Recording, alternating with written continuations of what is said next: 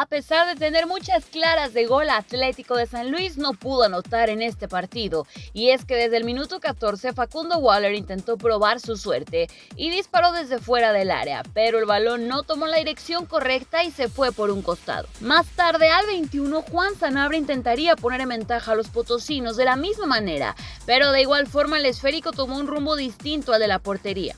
Al 61 los de Nuevo León se avivaron y Arturo González disparó desde fuera del área con gran potencia y el balón se fue a las manos de Barovero, mismo que intentó atajarla pero se salió de control y la pelota solamente mordió la línea cuando el arquero de los potosinos enmendó su error y evitó el gol. Ya por finalizar al 80 el árbitro central fue llamado del VAR por una posible mano en el área después de un remate de cabeza que tocó la mano del defensor Ramón Juárez y luego de ir a revisarlo, el central decidió marcar la pena máxima para Monterrey siendo Rogelio Funes Mori el encargado de cobrar el penal que luego de un potente tiro, el balón quedó en el fondo de las redes. Con este partido, Atlético de San Luis rompió una racha de 17 partidos, anotando gol. El próximo compromiso de los potosinos será cuando visiten al Mazatlán FC el próximo viernes 22 de julio en el Kraken. El plan que hicimos partido, la preparación que hicimos durante la semana, todo salió exactamente como queríamos nosotros. Los goles,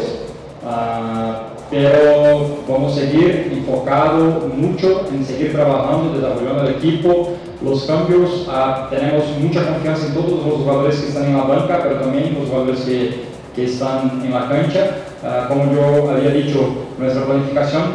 eh, hoy sufrimos el gol de penal, pero tuvimos también uh, el control defensivo y creamos las chances ofensivas. Yo creo que tenemos que ser un poco más efectivos para hacer los goles de las oportunidades que creamos, pero no es una cosa que personalmente me preocupa como si tuviera que ascender un, un